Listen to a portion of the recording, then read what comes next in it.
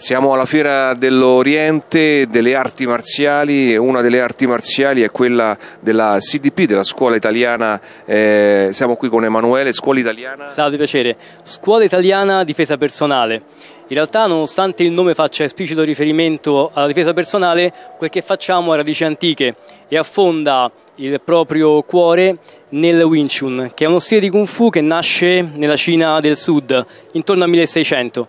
Come molto spesso accade nelle arti marziali, l'origine è a metà tra leggenda e storia, quella con la S maiuscola. La leggenda narra di un qualcosa che nasce dal, mm, dall'esperienza di una eh, sacerdotessa del um, tempio di Shaolin, Talen Gongmui, la quale osservando la lotta tra una gru e un serpente definisce quelli che sono i principi del Wing Chun.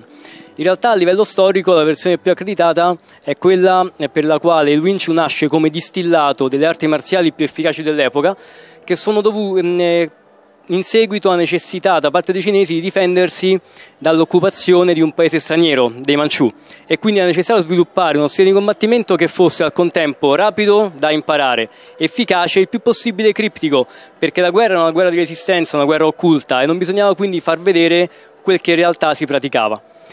Scusa, ti interrompo Emanuele, siamo in attesa del tuo, del tuo istruttore, no? del, del, fondatore. Aspettiamo in realtà esatto il nostro maestro, il Sifu Francesco Procaccini, che è colui che ha fondato la CDP.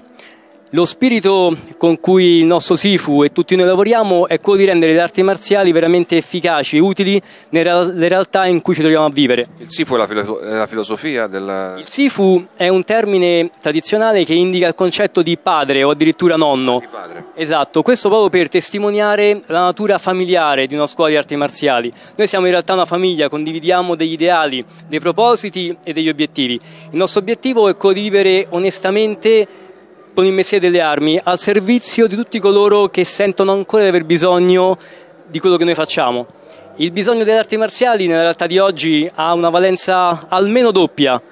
Da un lato c'è la necessità purtroppo di doversi difendere, perché è vero che fortunatamente non viviamo in uno stato di guerra, ma se qualcuno ci aggredisce, se qualcuno vuole ledere la nostra incolumità di chi ci è caro, allora sì, siamo purtroppo in guerra, una guerra limitata, circoscritta, ma nella quale se non siamo in grado di mettere in atto delle difese reali ed efficaci possiamo venire non sconfitti, ma uccisi o menomati per sempre. Oltre a questo aspetto prettamente pragmatico, c'è anche un aspetto invece, se vogliamo, più nobile, più profondo, cioè quello di poter continuamente evolvere. Non a caso quel che facciamo affonda le radici nel buddismo, che punta proprio alla valorizzazione e al superamento del sé. Quindi evolvere in un'ottica in cui il reale avversario non è tanto l'altro, ma è siamo noi stessi. Noi stessi, esatto, noi stessi, il nostro io a volte più pigro, il nostro io più meschino. Invece ecco, l'obiettivo è andare oltre lavorando insieme verso, come diciamo prima, un obiettivo comune.